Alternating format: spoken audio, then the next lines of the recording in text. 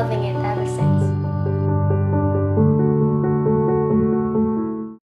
Jadi waktu kecil aku udah ngeliat kelasnya, terus aku kayak menarik ya sama teman-teman kayak nari-nari bareng. Bagi aku itu double D, disiplin dan dedikasi.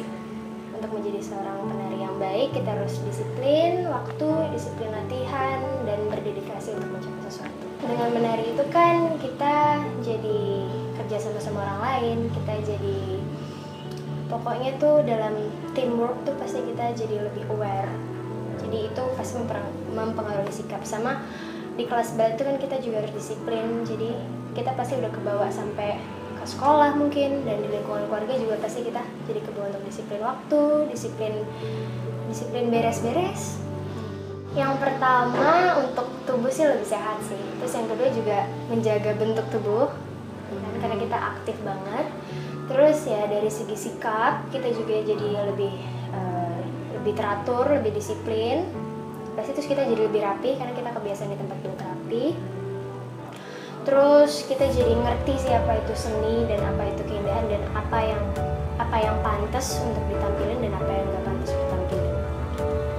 Yang orang harus tahu itu kalau balet itu bukan cuma pertunjukan tapi balet itu sebuah seni yang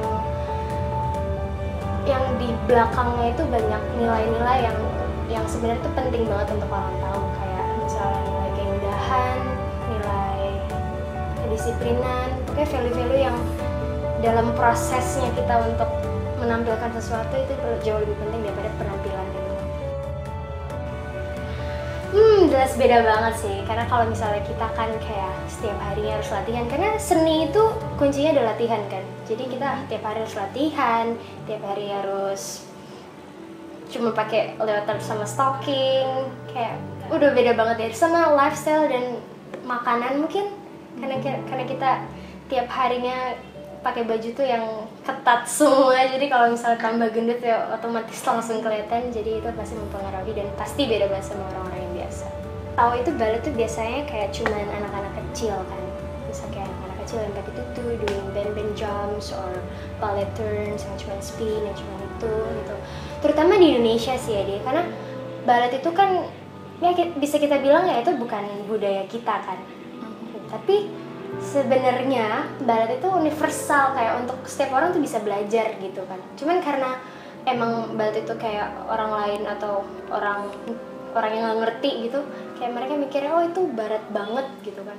Itu Eropa banget. Jadinya kalau di Indonesia ya kurang di kurang dihargai. Karena mereka nggak tahu aja kalau misalnya balet itu sesuatu yang sebenarnya itu kita tuh juga bisa loh balet gitu. Jadi mereka kurang menghargai sebenarnya gampang sih di. Karena karena kalau anak-anak zaman sekarang tuh sesuatu yang keren itu pasti mereka kan pengen ngikutin kan. Dan kalau dengan balet itu sebenarnya kita kan graceful. Kalau misalnya kita di foto aja tuh udah pasti berbeda gitu kan.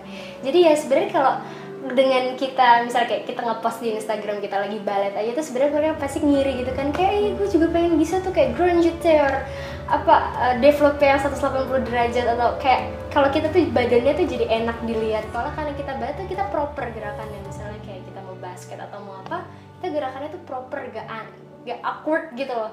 Jadi ya udah kalau kita bilang kalau kita ikut balet gitu ya pasti mereka harus pengen sih.